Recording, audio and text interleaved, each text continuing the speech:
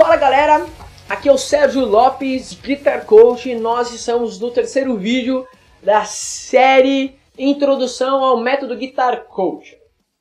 E você hoje vai aprender 24 acordes para você tocar praticamente qualquer música.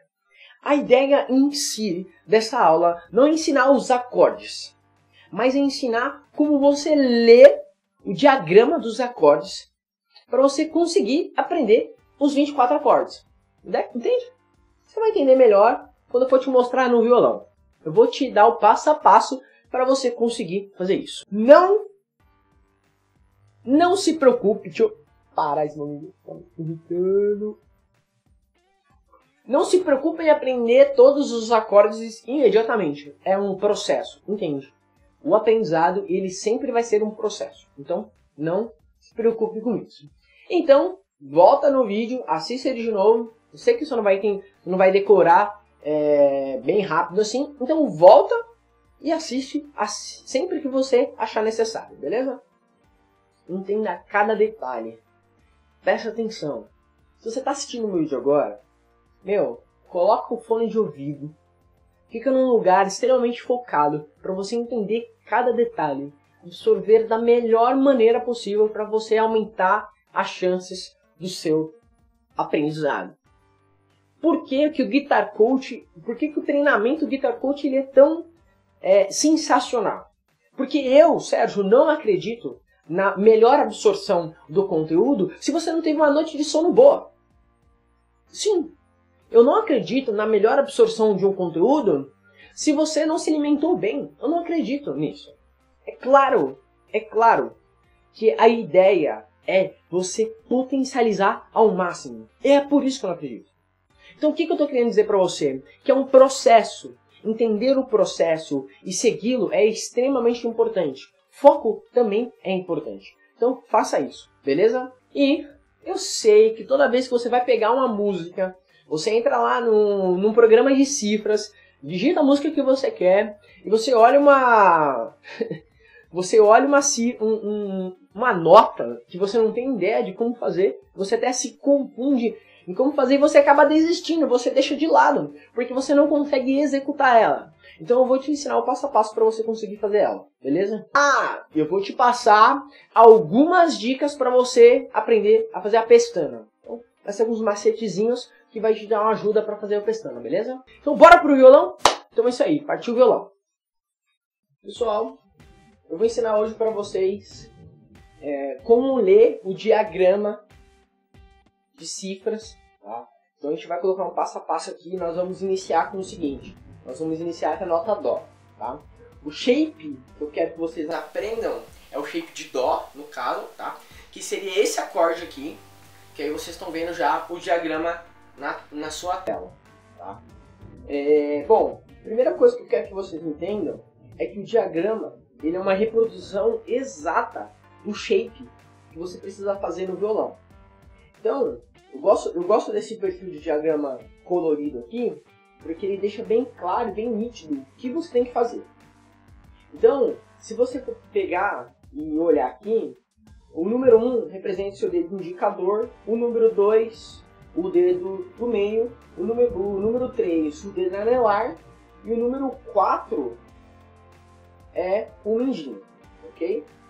Quando tiver uma seta, uma barra na, na casa, ele está representando que você precisa fazer uma pestana, tá bom?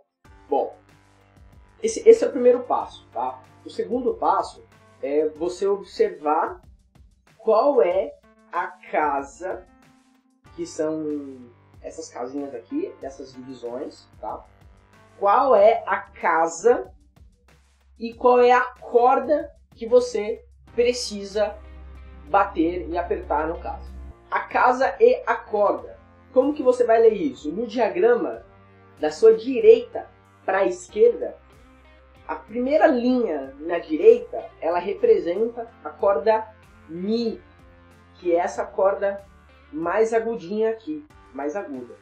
Então, da direita para a esquerda, no diagrama, você vai contar. Então, corda 1, corda 2, é, corda 3, corda 4, 5 e 6. E o inverso também é verdade.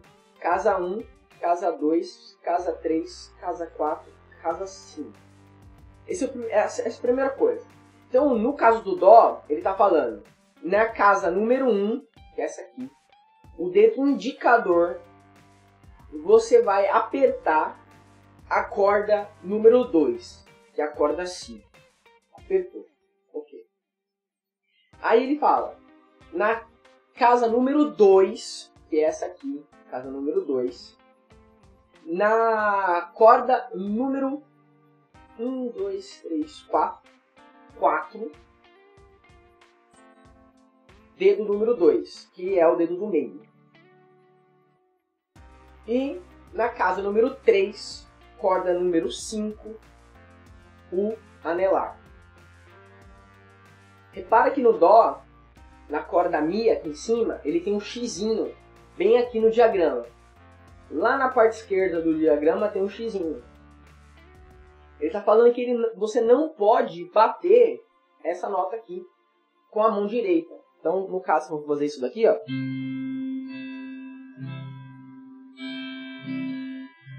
Você não pode tocar a corda Mi, porque vai mudar a característica da nota.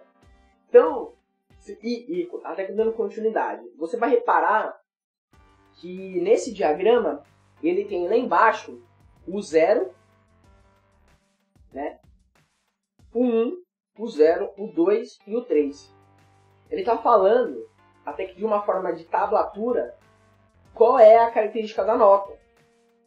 Então ele está falando que a corda Mi e a corda Sol, você tem que deixá-la solta.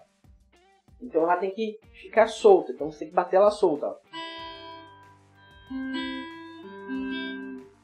E aí bater todas as notas. Então, o Dó ficaria assim. Basicamente, para você ler a, a, o diagrama de cifra é isso, tá? Agora, eu vou fazer o seguinte, eu vou ensinar para vocês dois shapes que vai te proporcionar tocar várias notas mesmo. Que vai ser o shape de Fá e o shape de, de Si, né? Ou de Lá menor. Vamos começar aqui pelo de Fá, trocar o diagrama aqui. O shape de Fá, ele é o seguinte, é isso daqui, ó. Esse é o shape de Fá, tá na tela. Tá vendo que o, que o número 1 tá em azulzinho aqui? Ele tá bem grandão, pegando todas as cordas. É exatamente isso que você precisa fazer. Você precisa pressionar todas as cordas. E como prometido, eu ia comentar com você é, algumas sacadinhas para você é, conseguir fazer pestana. Eu fiz um vídeo de 30 dicas, eu também falo sobre isso, então dá uma olhada nele também? O ideal não é você pegar e deixar o, o seu dedo é, literalmente reto assim, assim no caso. É você girar ele um pouquinho para a esquerda, que ele vai te dar força assim. Então não necessariamente você precisa estar reto assim, ó. Você pode fazer isso aqui, ó. Virar um pouquinho para a esquerda. Isso automaticamente vai te dar uma ajuda. Por quê? Você vai conseguir colocar os outros dedos também. Se você estiver assim, ó, você vai ter um pouquinho mais de dificuldade. Tá? Então vira para a esquerda. Bom, por que, eu quero que vocês aprendam esse shape e o shape de si? Porque ele vai te proporcionar usar praticamente o braço inteiro. Então, aqui nós estamos fazendo Fá. Certo? Se você subir um tom, que seriam duas casas, tá? se você subir um tom, você vai ter o Sol. Você fazer isso de novo, você vai ter o Lá. Se você fizer isso de novo, aqui a gente está no Lá, você vai ter o Si. Olha que legal. Primeiro, até, até uma curiosidade aqui, tá? Esse acorde aqui é o mesmo que esse. Que seria o Mi, é o mesmo shape do Fá. A diferença é que o Mi aqui que a gente está fazendo, a pestana, nós estamos usando a pestana do violão. Entende? Então, aqui, nós, existe uma pestana, que é exatamente essa daqui. Existe a pestana. diferença é que é, não, não somos nós que estamos executando ela. Aqui nós precisamos executar ela. Então a gente anula essa para colocar o dedo aqui. Esse shape aqui, você pode reparar, esse desenho aqui é o mesmo. A diferença é que a gente faz com dedos diferentes, né? No vídeo anterior, eu ensinei esse acorde para você, que é o Mi maior, tá bom? Aqui é o Fá. Bom, o que eu quero que você entenda é o que você vai fazer, tá? Você faz o Fá, se você tirar o dedo do meio, você vai ter uma nota menor. Fá menor.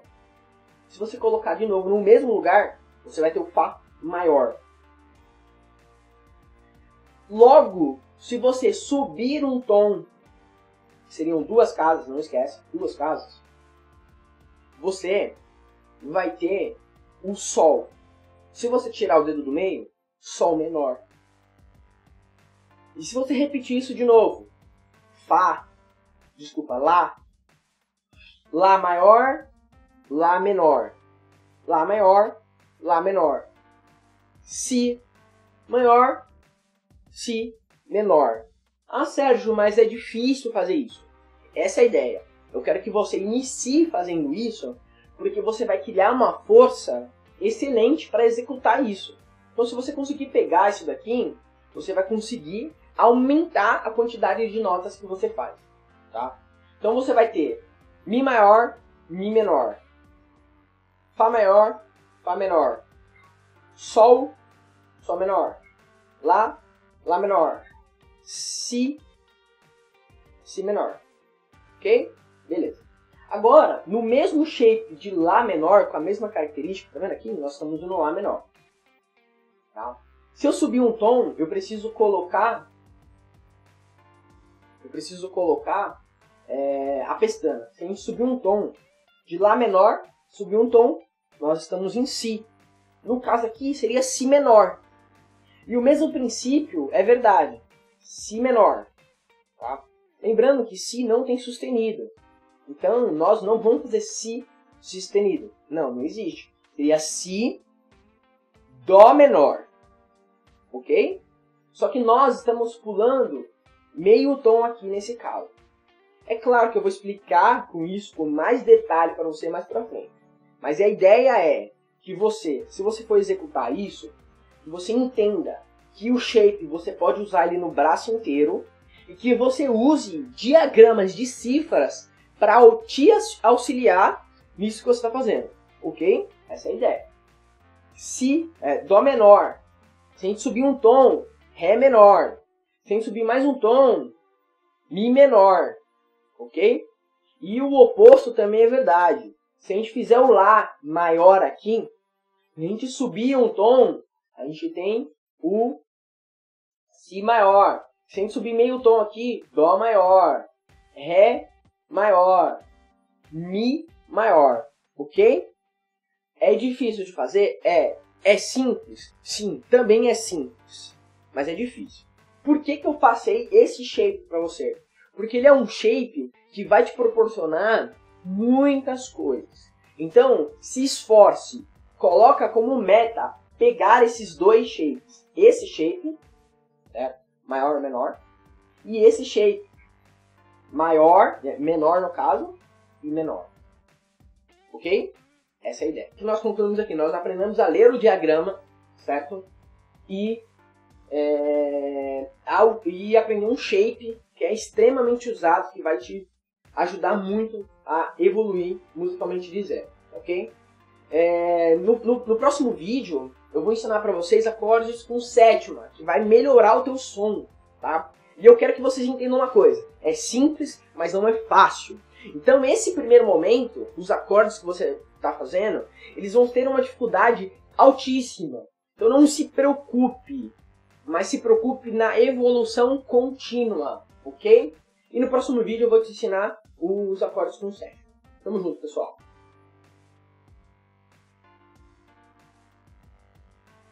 E aí, curtiu? É extremamente simples. Aplique isso consistentemente. Ficou com dúvida? Volta no vídeo e assiste de novo.